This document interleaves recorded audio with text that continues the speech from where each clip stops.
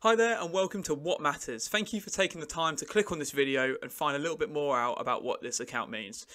My name's Harry Watts, for any of you that don't know me. I'm a 19 year old geography undergraduate studying at Bath Spa University, and I set this account up to capture my love for news and current affairs.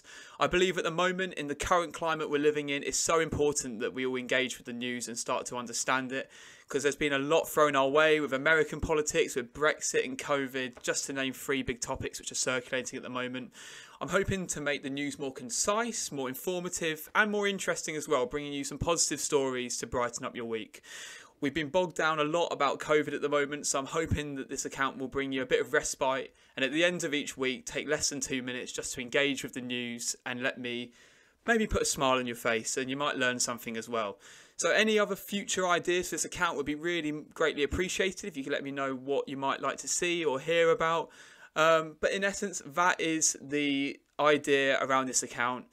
I've been Harry Watts. Thank you for listening. And as I said, any ideas, please let me know.